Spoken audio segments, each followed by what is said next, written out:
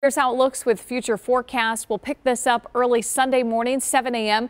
You can see largely clear skies. So we start the day with sunshine, a few fair weather clouds very similar to today. A couple of those puffy white cumulus clouds in the afternoon, but we keep it dry. It's not until Sunday evening that we start to see showers and thunderstorms moving in across northwest Wisconsin. That's with that cold front. And then those showers will continue to track east. You can see the timing here, though.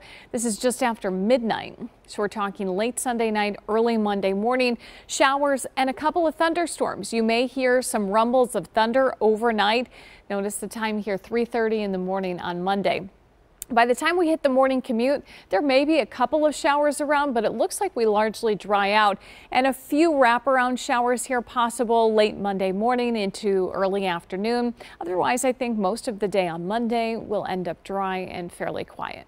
Tonight, 65 in Milwaukee, but far enough away from Lake Michigan. We'll see some upper 50s with mainly clear skies.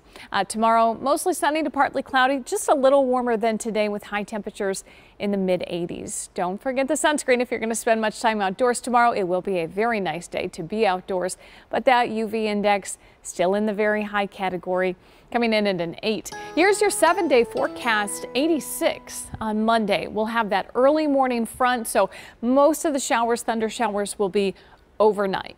Breezy on Monday with some gusts around 30 miles an hour. Tuesday looking like a pretty nice day. On Wednesday, we're going to crank up the heat. It will be very warm with highs in the 90s.